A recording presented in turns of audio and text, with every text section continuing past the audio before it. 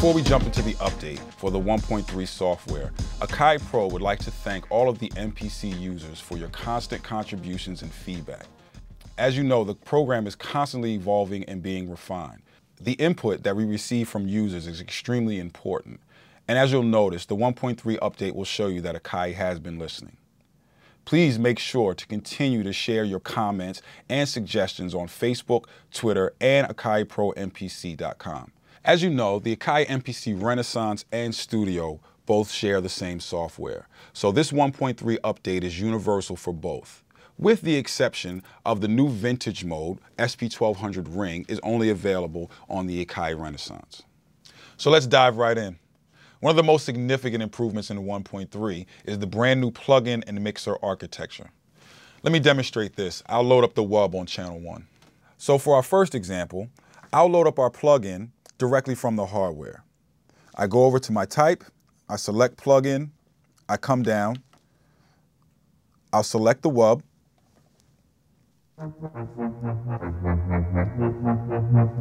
and as I go to my track mixer, you can see that we have a better and completely new organized mixer page. We'll see that we have one channel that appears for the plugin, and that's our plugin channel. And we also have one that is a MIDI channel. We can now direct as many MIDI channels as we want to the plugin channel. Now, if I go back to my main page and add a second track, we now see that we have two MIDI channels going to the same plugin. I can then play from track two or track one. As we've shown you, you can route as many MIDI tracks as you want to any plugin. If I want another instance of the same plugin, I would simply go to the next track, which is three. I would add a new plugin and select the WUB.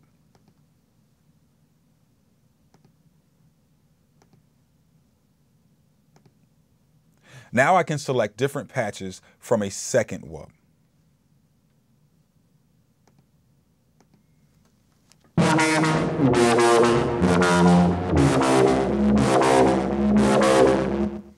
Shows here that I can show and hide my master, which is my returns and my sends. I can show unused tracks or hide the unused tracks, or I can show my plugins or hide my plugins. Now let's move on to track four. If I select underneath of track, you'll see that I have an unused channel. And you may wonder where the rest of my channels are. If you come all the way to the bottom, Akai has conveniently placed them in a sidebar. If I go here, I'll select unused, and that is my channel 4. For this example, I'd like to load the bank.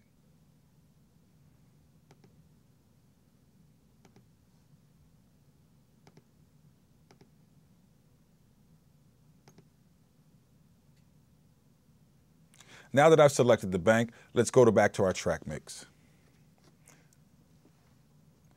As you can see, we've added a new MIDI channel and we've also added a new plugin channel.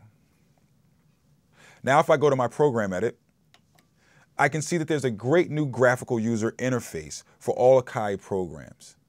This can be done for third-party programs as well, and our more adventurous users can make their own graphical user interface using XML.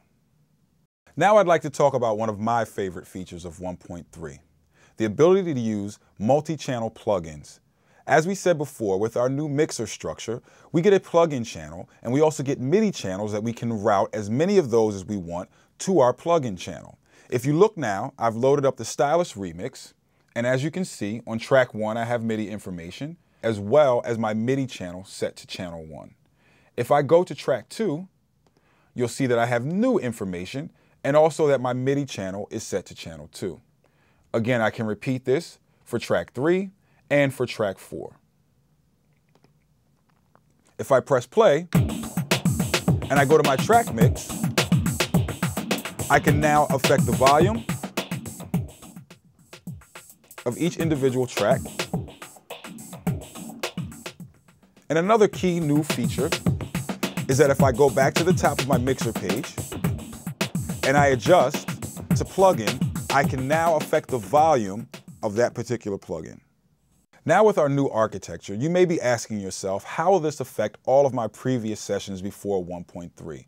The great thing is that when you load all of your old sessions, they will appear exactly as they were. For instance, if you had eight instances of the bank, you will load up your program and it will be eight instances of the bank. It will be up to you to take advantage of this great new architecture and save yourself space and processing power by assigning those to one plugin. For this next section, I want to show you some of the new features in the 1.3 update for editing and sampling. I'm lucky enough to have our gracious host, Mr. Jerry Wonda. What up, man? We appreciate you, man. Man, anytime. Thank you for Yeah, having man. us, man. Anytime. Um, what I wanted to do here was just have you play the bass over a drum program so I can show them some of the new editing features. The, a bass lines. Let's see.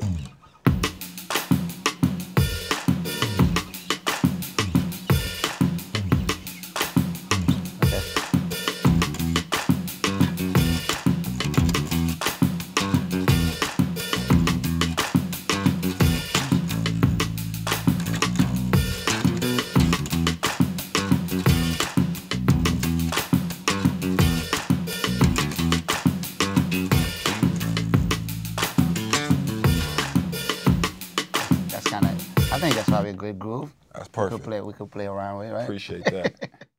now that we've finished that, I'd like to show you some of the great new editing and recording features. First of all, we now have the ability to record at 16 or 24 bit. If I go into my preferences and I select other, I can change the sample bit depth from 24 to 16. I'll leave it at 24. Now I can edit the bass line. If I go into my sample edit mode, we have a great new feature by holding down the shift and the arrow keys that I can zoom from the hardware, in or out. Now when I chop, I can zoom in, and this will allow me to use another one of our great new features, which is the ability to write our own chop points just by double clicking. I can then erase that point by double clicking again. Now that we're done editing, I'd like to show you some of the new features for arranging samples inside of your programs. Again, we can grab a sample and drag it to our sample list. We can also drag that sample to a pad. We now have the ability to drag samples directly to the lanes as well. As you can see, that new sample is on pad A10. Again, I can drag whole folders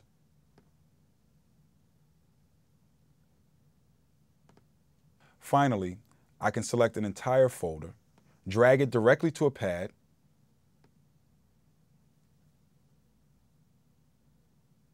and it will load all the samples contained in that folder from that pad on. Which also lets me demonstrate what I think is one of the key features of the 1.3 update. We now have the ability to delete unused samples.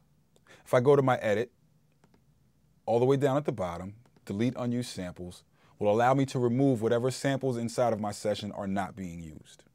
So let's take a second and make a quick edit and put this bass line with our already constructed beat.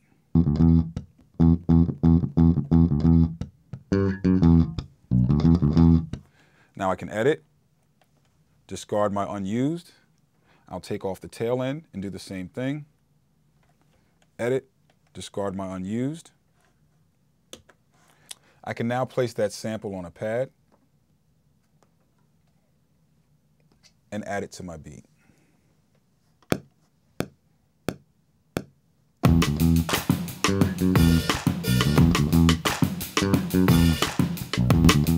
Now that I've done that, I can apply all of my vintage modes. Of course, I have my MPC 3000, my MPC 60, and my SP 1200.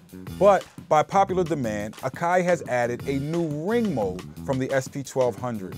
If you remember, you could pull the plug halfway out and that would bypass the filter, giving us this incredible sound. So as I move from SP 1200, you'll hear the difference in the ring mode.